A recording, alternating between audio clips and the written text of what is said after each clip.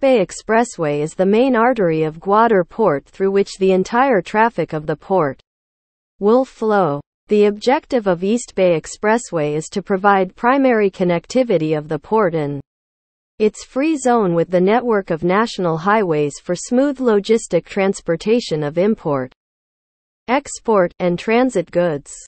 Currently, Gwadar Deep Sea Port is connected through a narrow 16 feet wide thoroughfare of Gwadar town at the West Bay.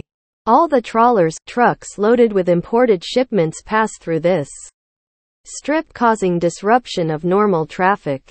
The port has not a dedicated wide highway to cater to the transporting requirements of the post. The port operationalization, even with the available 04 multi-purpose berths, necessitates the construction of the planned East Bay Expressway.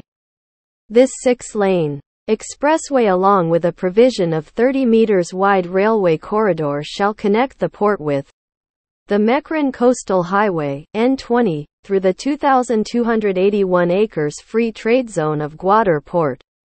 Responsibility Proposing Agency Gwadar Port Authority and Ministry of Maritime Affairs. Location Gwadar District, Balochistan Province.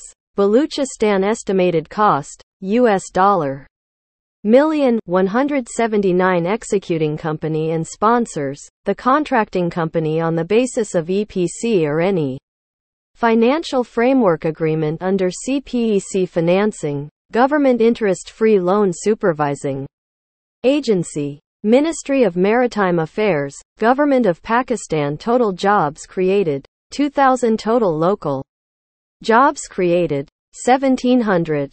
Project progress update. Cost approved by ECNEC on 1 December 2015 Contract agreement was signed B. W. GPA and CCCC on 24 September 2017 The groundbreaking ceremony of East Bay Expressway was held on 22 November 2017 by Prime Minister, East Bay Expressway Gwadar, 19 kilometers, 14.5 offshore completed and 4.5 Onshore under construction. Project completed and inaugurated on 3 June 2022.